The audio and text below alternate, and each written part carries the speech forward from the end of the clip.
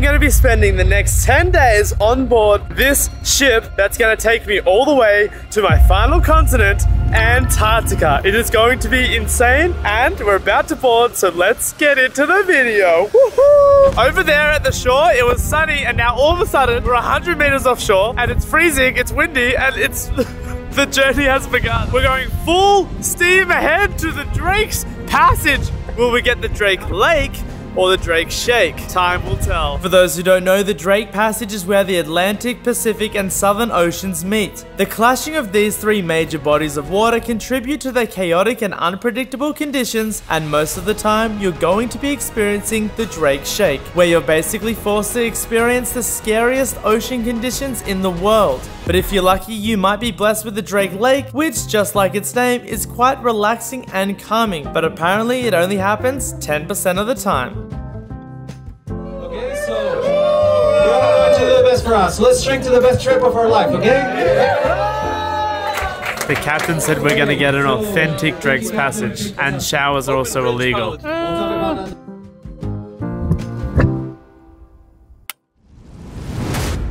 So the nurse gave us Dramamine, which is basically the pills to try and help us get through the next 24 hours of sailing. But um, I'm scared now. I wasn't going to eat these little things because I thought, you know what, I'm stronger than this. Now I am scared. So let's go. Drake, shake me up, baby. What's up, Jorden? What's up, Nate? All right, we've officially entered the Drake. So let 48 hours on the Drake's passage begin right now. The first stop on the Drake was breakfast, and people were already feeling it. Let me get a close up. All right, that's it. First man down. Oh my word, we're already one man down. He's going to the room. A little birdie told me um somebody had a pukey puke. I did a little sneaky pukey pukey, but guess what? I bounced back even stronger. I feel good. So I was sick, but I'm also still chilling in the lobby. So holy flip!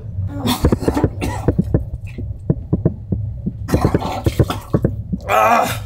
Oh my god, that was crazy.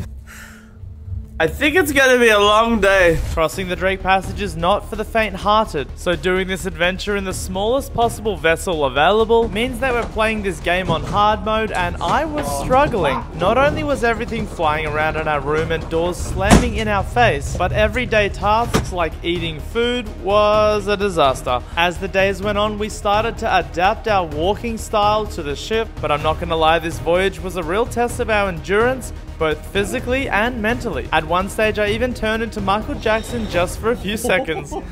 it's incredibly hard to show you how much the boat was rocking, but it was not for the faint-hearted, as you can fall down and get seasickness at any moment. Oh, oh, he's sick.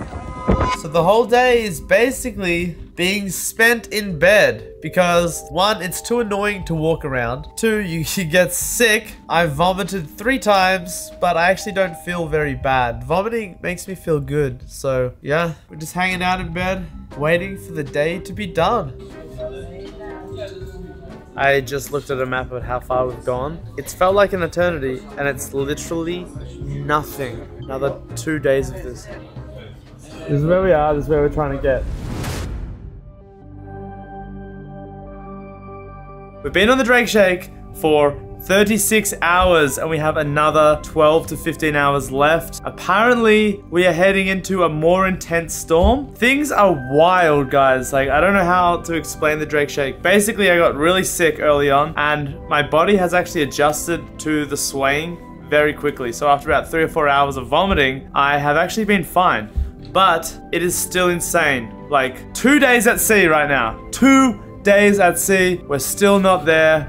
I just want to see a cute little penguin. That's the update. The Drake Shake is sending me into my brain. My brain does, doesn't understand. Ah! Anyway, the things you gotta do for Antarctica. They just announced that the first thing we're doing in Antarctica is the polar plunge. What the heck? And for those who don't know what the polar plunge is, stick around because you're about to find out. It's storm time. Yay! 48 hours on the Drake Passage. It is crazy. We only have one more night on the Drake's Passage, which means when I wake up, I'll be officially in Antarctica. I am so excited to get off the Drake Passage. It's so insane. One tip they gave us for sleeping is to put your life jacket under your bed. So you have a slant, so then you don't roll around in the night. So that's what I'm doing. See you in the morning. After two of the craziest days at sea, we actually made it to Antarctica. Let the adventures begin. I'm so glad we're out of the Drake Shake. That was the longest two days of my life. It wasn't as bad as I thought it would be, but it was still very long. Yeah, let's go see some penguins. They just announced our first activity in Antarctica is going to be the flippin' polar plunge, which means we're about to jump into like one degree ocean water. And wow, I didn't think it would be so soon. But I guess there's no better way to start your trip to Antarctica than just jumping right in there literally. So let's get it.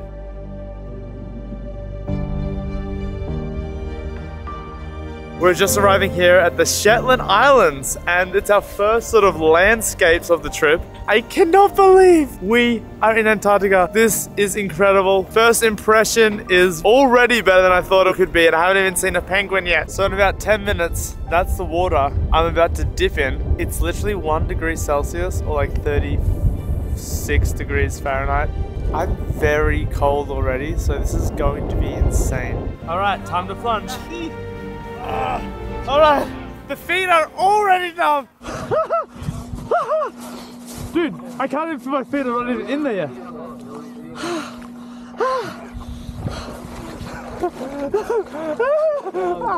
ah! Should I just go in?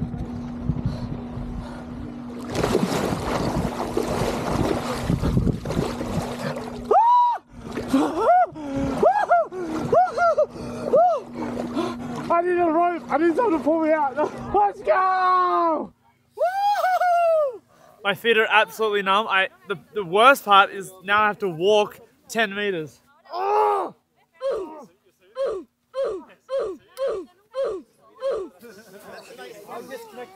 Ah! After two days on the Drake Shake, I never thought I'd be happy to see this boat, but I'm so happy to see this boat. My feet are like burned. I took a long shower and I am back and the sun has come out and we have a whole afternoon still in Antarctica. Woo! That was one of the worst feelings ever. The feeling of your feet and your shins and your legs completely numb to your body. That is like bone chillingly the worst. But what an experience now that I'm warm again. What an experience. Out of nowhere, we see our first little penguin.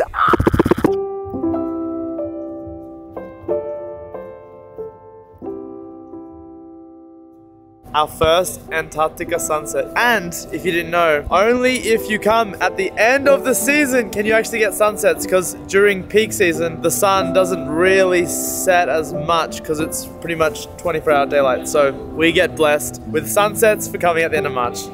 Perfect. And remember to subscribe because the Antarctic adventure has only just begun.